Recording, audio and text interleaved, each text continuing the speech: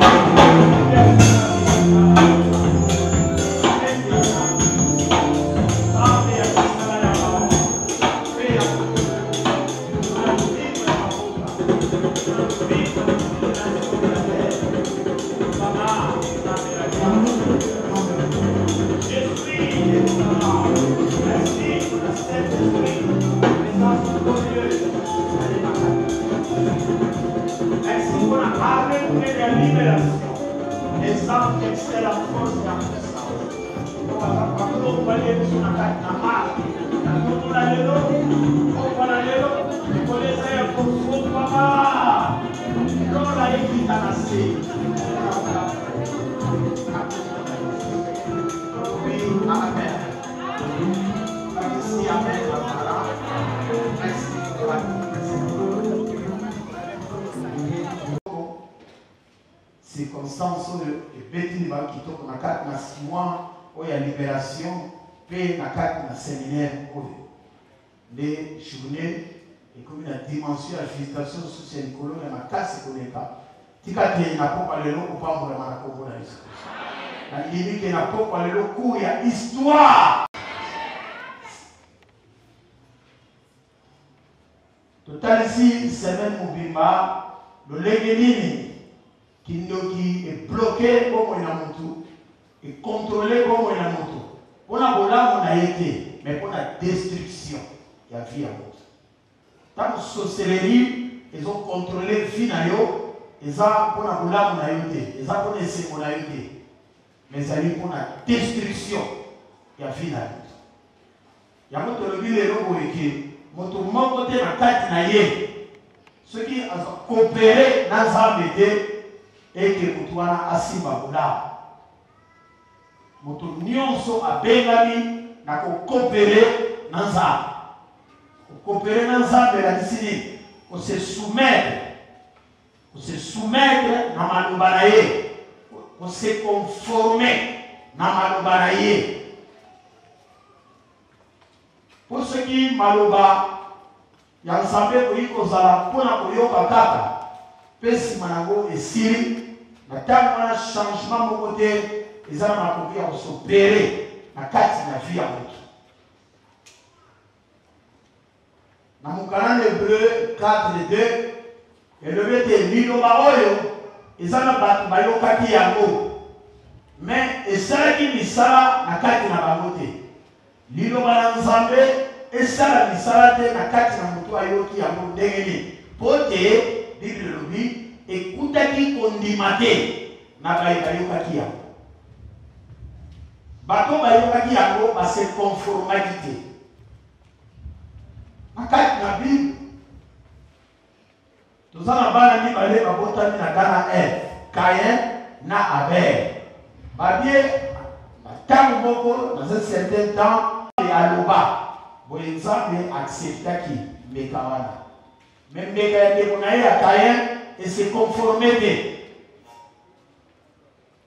Na kati na marche oyo tozali kolanda na nzela na Nzambe, Nzambe abengami kaka asala automatiquement te na kati na vie na yo ndenge mingi bakanisi. Mais Nzambe azalaka na part na ye, mutu pe yo donc c'est-à-dire ozalaka pe na part na ye. Nzambe balingi akuti ndeko oyo totangi mama oyo angumama mokongo pendant 18 ans abandaki ah, kose redresse te azalaki bongo ntango ebele meme nkolo akutani na nkolo nkolo akuti ye na eglise na synagogue akovandi so na condition wana obengani otelema obanda baprojet osangage ntango nzambe atomboli awa babi ntango ya nkembo nkembo ekoakompanye projet na yo nio nyonso eza na projet te yo kotombola oyo ekoshime na kombo na yesu soki esheke ezali se kokanisi eloko te soki osali projet te nzambe azalaka na part na ye yo mpe oza na part na yo ntango abi telema tambola telema tambola yango faut se décider kolinga te ozala na kati kope eza lie il faut se décidaka ke faut boye kozwango te na mosika ntango bonjour bonjour alleluia accord ya vitesse ya ntango iba na ye makasi vitesse oyo te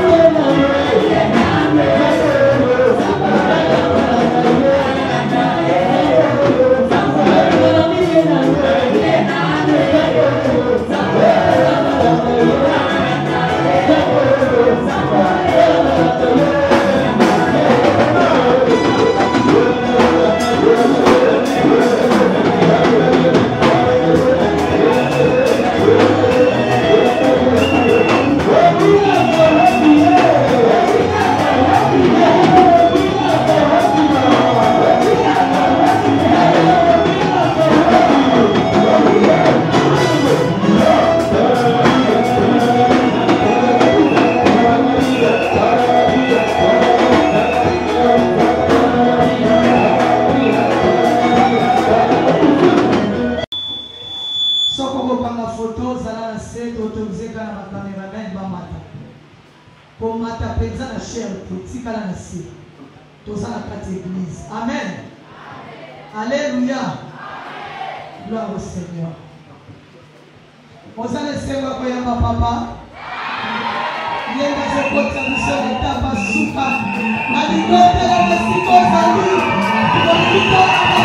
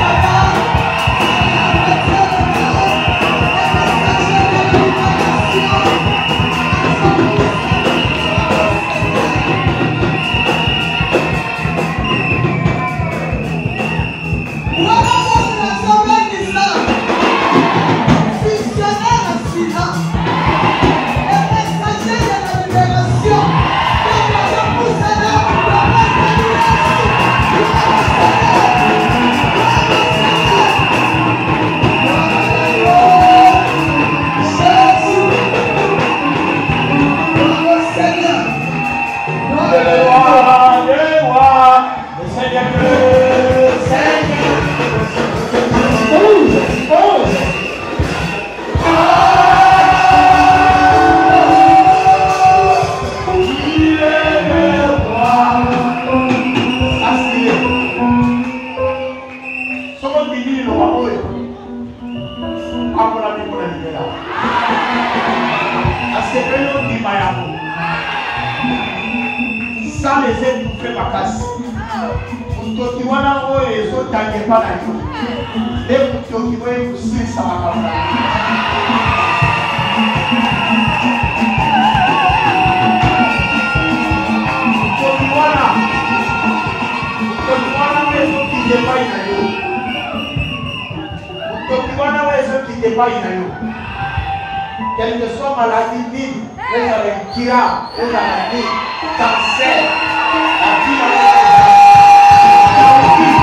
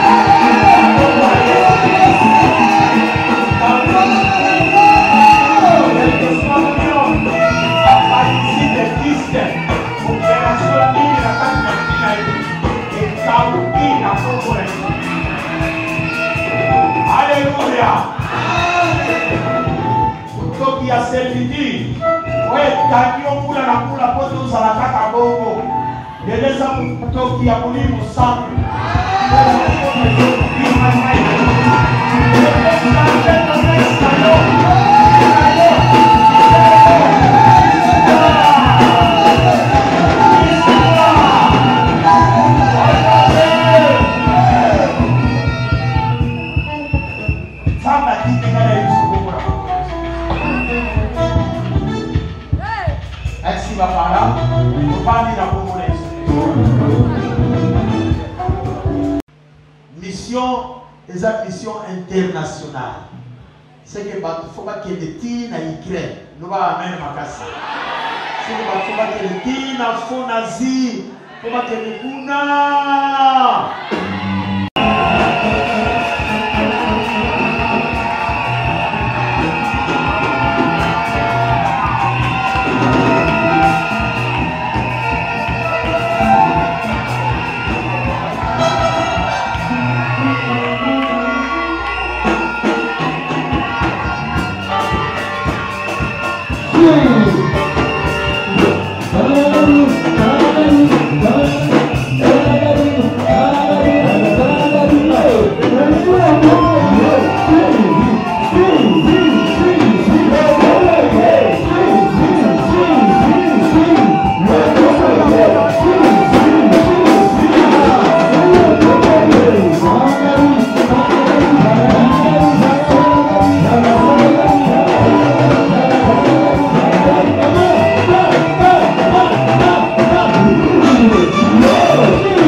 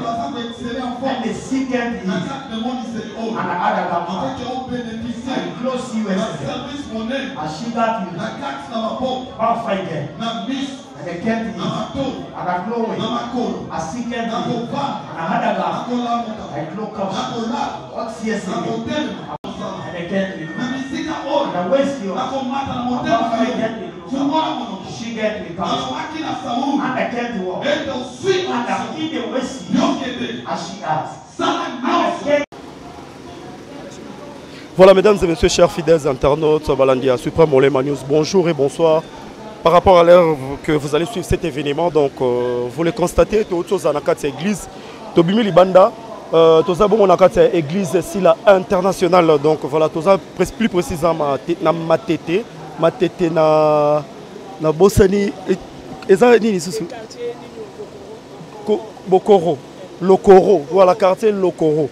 Voilà, tu as qui na consécration ya ba pasteur hein. Ba ba bimba pasteur ba sala nzambe. Maman Solange oza moko ya ba sala nzambe oyo ba tiko consacrer hein. Eza bongo te. Oza ndeko. Na ndeko aye. Eh, bongo. Ba sala nzambe mo ba tiko consacrer. Eh, aza ndeko la ngai. Ozo koka no caméra te. Nayoki ndeko lobi bien te. Nakati ozali. mais mosali nini ngai oyo nayebi bongo moko ya mosali ya nzambe oyo bakuti kokonsacre eh, eza bongo eh. eh, oko se présente bato bazo bon ngai mama solange mosheni nasambelaka na église sila naza na esengo nde baconsacre petite sere na ngai iget mosheni yo mpe oza mosali ya nzambe biso nyonso toza basala ya nzambe te bon ya libération tolobaka ke biso nyonso toza basali kasi mokolo ntango yango ekoka nde yango ndenge basali ya bango baconfirme bango bato nyonso bamona wana nde kozala mokolo nango mpe ezali bakomi bapaster te bapaster nanu te oyoki toma explike ke tozalaka na deux étape étape ya liboso ezalaka ya eh, nini ba étape ya liboso ezalaka baconcentre yo deuxième étape nde basi koconfirme yo soki obima pasteur ou bien évangéliste eh, sikoyo bakoconsacre bango merci beaucoup mpona éclaircissement donc namona lelo oza na esomo makasi moye te osepelama après awa tokea toza kaka na kati ya église biso kaka na kati ya église eh. merci beaucoup to libéraux parce que tomoni esengolo eza malamu na sepeli voilà. Voilà, merci beaucoup mesdames et messieurs. Restez branchés sur votre chaîne. Donc on va comprendre que Essengo eza makasi kuna la kati. Apôtre Alobi, Essengo oyo aussi la lelote ezo continuer, ezo continuer jusqu'à ce que bakokoma na étape oyo ya suka po bakoma évangéliste soit pasteur soit Donc restez branchés sur votre chaîne. On se retrouve tout de suite après.